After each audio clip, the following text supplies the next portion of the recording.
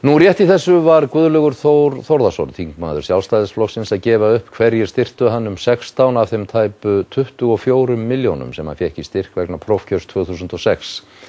Hæstu styrkirnir, 2 miljónir, voru frá Fons, Bögi Grúp og FL Grúp en hann fekk 1,5 miljón frá Landsbankanum og Östurseli. Nánar verður greint frá þessum styrkjum á rúf.is. Kostnæður við prókjör var komin úr böndum segi Guðlaugur Þóri í dag. Fyrir fjórum árum saðan kostnæðin hóflegan. Kostnæðurinn við prókjör Guðlaugs Þórðarssona fyrir fjórum árum var hóflegur, sagðan sjálfur daginn eftir prókjörið.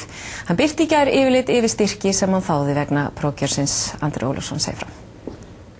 Fyrir fjórum árum tókust á tveir turnar í sjálfstæðisflokknum, Björn Bjarnason og Guðlugur Þór Þórðarsson, um annarsætið á listaflokksins fyrir alltingiskostningar í Reykjavík. Guðlugur hafði betur en kostnar við þetta prófgjör og styrkirni sem Guðlugur og aðri stjórnmálamenn þáðu á þessum tíma er skoðar með öðrum augum nú en þá. Lítum á dæmi. Dægin eftir sigurinn í prófkjörinu mætti Guðlaugur í setti þjá Agli Helgarsinni á stöð 2 og var spurður út í kostnæðin við prófkjörið. Ég hef nú bara hreinlega ekki verið að hugsa mikið um að taka slíkt saman. Þetta verðist hafa gengið allt ágjörlega. En fjórum dögum fyrir kjörta var ekki múin byrta eina einustu heilsíðu. Þannig þetta var nú allt svona mjög hóflegt en, en uh, ég hef bara verið að viðkynna þetta er þetta mörgum sem ég hef ekki verið að hugsa um akkurat núna þessa dagana.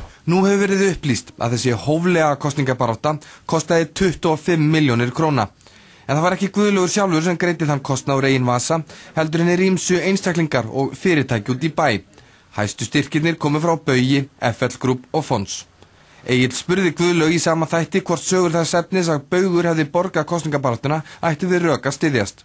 Og það var reynd að koma flott hérna sögum um að Bögur væri að borga fyrir þig og, og, og, og ég veit ekki hvað. En, en hvernig fórst að því að fjármagna þetta? það líkur alveg fyrir þetta kostar og það sög, sögurnar sem fara á stað að það eru mjög fyrirsjáanlegar það var enda að koma þess að stað á netinu já, já, það, ímsu, mann er nú ekki eldast við það. Guðlaugur saðist í samtali við fréttastofu í dag hafa lagt öll spil á borðið. Hann ætlar ekki að segja af sér þingmennsku en ef við lítum á lista yfir stjórnmálamenn sem þáðu styrki sem voru miljón eða meira eru einhverju fjórir sem eru enni í borgastjórn eða enn á þingi Bróðurparturinn af þeim miljónastyrkjum sem Guðlugur Þór Þórðarsson þingmaður sjálfstæðisflokksins árið 2006 komu frá útrásarvíkingum og fyrirtækjum þeirra. Þetta var það sem týðgæðist þá, segir formaður þingflokksins. Guðlugur Þór Þórðarsson, þingmaður sjálfstæðisflokksins, hefur greint frá því hverjir styrtu hann um 16 miljónir króna af 25 fyrir fjórum árum langt flestir styrkirnir komu frá útrásarvíkingum. Kristín Sigurðardóttir, hefur flokksfóristan borist, eh, brúðist við þessum fréttum á einhvern nátt? Já, Ragnur Elín Arnaldóttir, þinglósformar, segir ekki sétt að setja mælistöku ársins 2010 á það sem gerðist árið 2006. Styrkirnir hafi komið frá þeim sem voru mest ábyrjandi í viðskiptalífun á þessum tíma. Þetta voru meðal annars fyrirtæki sem tengjast Jóni Áskeri Jóhannesinni, Pálma Haraldsinni og Björgólfsfeðgum. Guðlugu Þór Þórðarsson aflaði 25 miljóna króna í styrki fyrir prókjur sjálfstæðsflokksins fyrir fjórum árum þar sem hann sigraði í slag við Björn Bjarnason þáverandi dómsmálar á þeirra. Hæstu styrkin eða 2 miljónu króna hver veittu Baugur, FL Group og Fons. Slitastjórn Glittin skilgrandi nýveri nokkra helstu eigundur og stjórnendu þessara fyrirtækja sem klíkundir stjórn Jóns Áskes Jóhannessonar sem hafi rænt bankan innanfrá. Þá styrti Östursel, lögfræði fyrirtæki Hreins Loftssonar, frambóð Guðljóks um 1,5 miljón króna. Reitn og Jón Ásker voru árum saman nánir viðskiptafélagar. Landsbankin sem var í eigu Björgólsfæðka styrti Guðljóks um leiðu sem halva aðra miljón króna.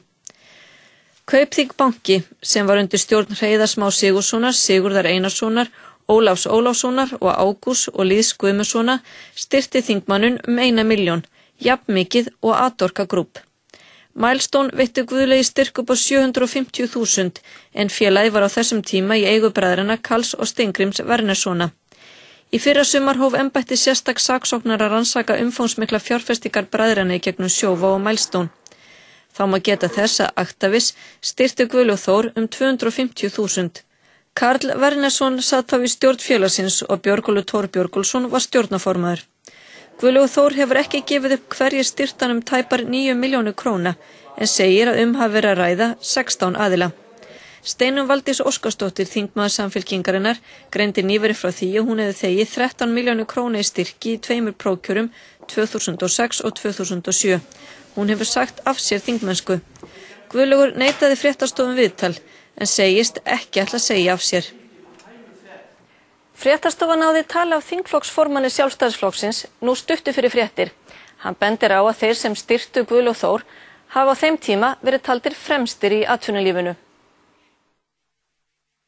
Og þeim var hampað af, af, af fólki hér innanlands sem og erlendir. Þannig að það kemur í sjálf sér ekki á óvart að þetta séu þeir aðilar sem að voru hvað stórtakastir í þessum styrkvætingum.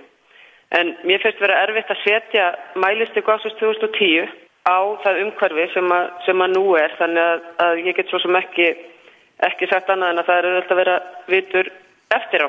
Finnst þér að Guðlaugur Þór eigi að skoða stöðu sína hugsanlega að segja af sér? Guðlaugur Þór er búin að gera grein fyrir sínum málum eins langt og hann telur sig geta gengið. Og með því er hann væntalega búin að gera það upp við sig og skoða, skoða sína stöðu og gera sín upp þannig með því að byrsta þessar upplýsingar.